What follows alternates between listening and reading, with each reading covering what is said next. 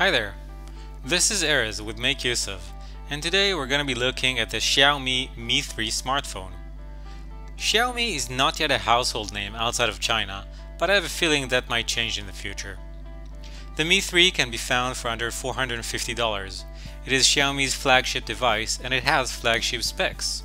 With a Snapdragon 800 chipset, an Adreno 330 GPU, and 2 gigs of RAM, the Mi 3 is equivalent to Sony's Xperia Z1 and LG's G2 Pro.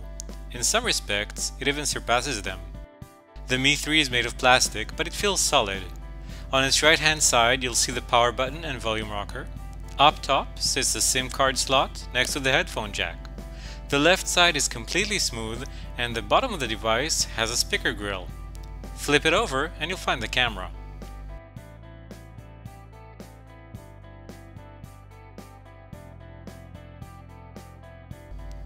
Switched on, the first thing you'll notice about the Mi 3 is its gorgeous display. It has a 5-inch panel with vibrant colors and great viewing angles. The next thing you'll probably notice is that it doesn't look much like Android. In fact, it feels suspiciously similar to iOS. From the launcher to animations used throughout the system, MIUI, the ROM that powers this phone, doesn't feel very close to Google's vision for Android. It's still fun to use most of the time.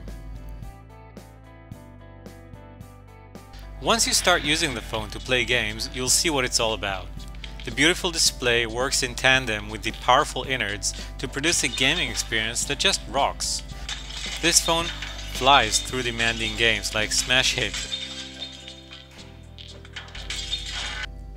The Mi 3 has a 13 megapixel camera, which is quite good.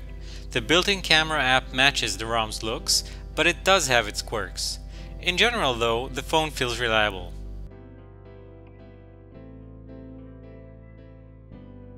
This is a phone more people should know about. It comes at a great price, has incredible specs, and its unique take on Android is usually fun to use. To read our full review and for a chance to win this phone, head over to makeuseof.com.